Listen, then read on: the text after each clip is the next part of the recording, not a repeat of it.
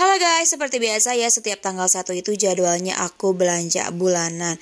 Nah, pas aku mau berangkat, cuacanya emang lagi tidak mendukung, hujan deras banget. Di sini aku lagi markirin mobil dulu nih ya, nunggu suami aku ngeluarin mobil. Ini hujannya bener-bener gede banget. Ini aku pakai payung dan alhamdulillah ini mobilnya udah keluar juga. Ini pas di perjalanan, ini hujannya gede banget tuh, ada petir juga, serem banget sumpah belanja bulanan kali ini. Terus di tengah-tengah perjalanan juga, ini semua lampu-lampu pada mati. Ini serem banget kalau misalnya mati lampu di jalanan seperti ini. Terus ini juga ya aku kebanjiran gitu ya di jalan rayanya. Dan alhamdulillah nih sekarang udah nyampe ke tokonya. Langsung aja nih aku mau ngambil troli. Aku ambilnya satu aja dulu ya. Nanti kalau misalnya nggak cukup, aku ambil lagi. Seperti biasa, yang pertama aku beli itu adalah minyak goreng. Kali ini aku belinya satu karena stok di rumah masih ada dan lanjut lagi di sini aku mau milihin lengkeng. Nah, lengkeng itu salah satu buah yang paling aku suka banget. Ini aku ambil satu kresek dan aku timbang dulu. Ya, ternyata ini tuh lebih dari satu kilo dan harga satu kilonya itu 42 ribu. Setelah pilih-pilih lengkeng di sini aku mau belanja lagi nih aku lagi penasaran banget sama kimchi karena sebelumnya aku belum pernah makan kimchi jadi mau cobain aja dan aku juga beli sosis kenjeler yang pedas. Pokoknya di daerah sini tuh aku beli kayak minuman-minuman yogurt gitu kayak Yakult, terus ini aku beli apa ya? Beli susu kedelai sama minuman-minuman gitu. Pokoknya ambil sesuka hati aku aja sih. Terus ini juga aku mau beli coklat ya karena ini aku eh, gak pernah skip emang suka banget sama coklat. Lanjut lagi di sini tuh aku jalan-jalan ya mau beli apa sih ini tuh namanya sarden karena suami aku tuh doyan banget sama sarden beli apa sih? Ini beli saus? Ya Allah kok susah banget nih ngomong saus juga. Beli saus jawara ini enak banget. Terus selanjutnya aku jalan-jalan lagi mau ke daerah peremi-emian ya.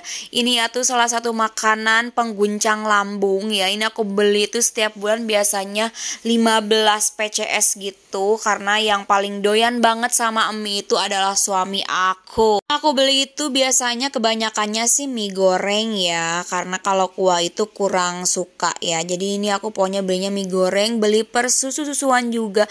Pokoknya per susu-susuan yang e, rasanya aneh-aneh gitu aku beli ya. Dan ini e, susu yang gak pernah aku skip yaitu ultramil terus beli juga kopi buat sang suami aku beli cemilan-cemilan Pokoknya kalau misalnya belanja di toko serba gede gini tuh aku kebanyakannya cemilan ya guys karena kalau misalnya kayak kebutuhan e, telur, e, kebutuhan kayak terigu gitu biasanya tuh aku belinya tuh di grosir di dekat rumah aku ya. Jadi kalian tuh gak usah ngebully atau komen katanya apaan sih belanja bulanan kok kebanyakan cemilan. Ya gimana dong ya. Aku tuh berdua tuh emang doyan nyemil terus ada kulkas juga. Kan kulkas aku gede dua pintu gitu. Masa iya kulkasnya kosong? Makanya aku tuh isi banyak dengan cemilan. Terus kan ada juga di e, tiap seminggu sekali aku belanja mingguan. Nah kebutuhan pokoknya itu pas belanja mingguan. Pokoknya aku tuh belanja sekali tuh seminggu sekali. Kalau buat bahan makanan kebanyakan di kulkas aku tuh emang cemilan cemilan guys. Kalaupun gitu kan aku juga di sini belanja kebutuhan pokok juga guys kayak minyak goreng, terus kebutuhan kamar mandi kan aku belinya di sini, nggak semua cemilan gitu. Ya sekalian cuci mata lah ya sebulan sekali ke supermarket besar belanja sekaligus banyak ya namanya juga ibu-ibu ya doyan belanja. Nah ini aku lagi keliling-keliling lagi nih ya mau cari minuman buat di kulkas karena emang aku tuh doyan banget sama minuman makanya badan aku gembrot.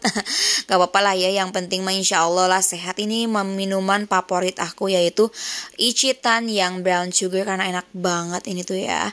Terus aku juga beli per kopi-kopian karena aku tuh gak bisa skip kopi tiap hari tuh aku harus ngopi kopi ya beli teh kotak juga kalau misalnya ada tamu gitu ya ada teman-teman aku main ke rumah aku suguhin teh kotak kayak minuman kayak gitu.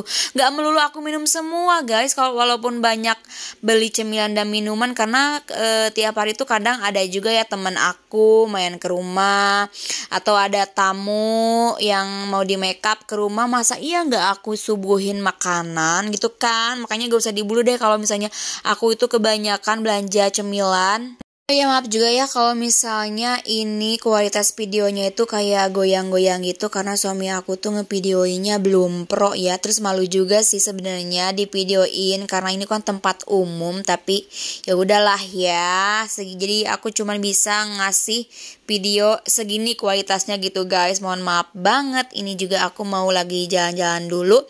Ke mana ini? Ke daerah kayak buat di kamar mandi gitu aku beli odol yang kecil karena di rumah itu yang gede masih ada. Beli juga sampo. Ini sampo buat suami aku. Beli tisu. Ini nih ini aku beli tisu banyak banget ya tiga bal gini karena uh, ya begitulah ya guys. Boros banget tisu guys. Kalian tahu kan kalau misalnya ibu rumah tangga itu emang boros tisu. Oke ini udah beres belanjanya. Ini aku tinggal bayar aja ya ke kasir. Alhamdulillah hari ini tuh sepi karena hujan. Jadinya uh, aku nggak nganti lagi deh buat bayar Oke okay guys, ini aku mau bayar-bayar dulu ya. Ini aku taruh-tarin dulu si belanjaannya ke meja kasir. Terus ini aku bayarnya pakai kartu debit karena emang aku nggak bawa cash ya. Emang kebiasaan aku tuh ke mana-mana jarang banget pakai cash. Padahal kan gak semuanya itu punya m banking atau e, bank kan. Jadi yaudahlah nggak apa-apa. Ini aku mau masukin barang-barang belanjaan aku ke mobil ya. Alhamdulillah belanja kali ini selesai. Aman aman dan nyaman yang nggak ngantri. Oke karena aku lapar ya di sini tuh aku lagi makan iga bakar. Ini tuh iga bakar favorit aku yang ada di Purwakarta. Karena emang rasanya itu enak banget begitu iganya tuh gede banget. Harganya juga murah cuman 35.000 tuh udah dapet si sayur sopnya itu guys. Pokoknya enak banget nih buat kalian orang Purwakarta wajib banget sih cobain si iga bakar ini tempatnya itu di Perum Usman. Cuman kali ini tuh aku lagi bad kali ya lagi kurang beruntung nasinya itu emang agak-agak kayak nasi lama gitu lembek-lembek gitu tapi iganya tuh juara umum sih. Ini sampai suami aku juga nambah nasi saking enaknya.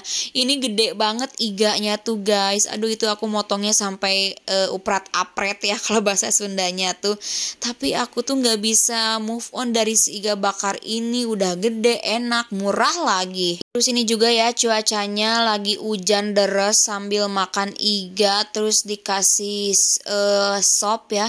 Terus minumnya juga es teh manis dingin. Uh masya Allah nikmat mana lagi yang kau dustakan? Gustino Agung enak banget bing bing ini mah setelah selesai makan nih sambil perjalanan pulang ke rumah, di sini tuh aku nyampir eh nyampir mampir dulu ya ke toko buah langganan aku.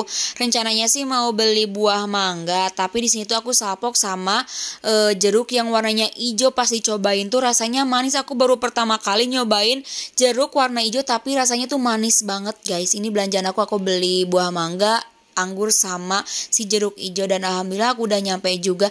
Itu kucing aku udah nungguin. Katanya emaknya ke mana. Oke okay guys. Thank you for watching dan bye bye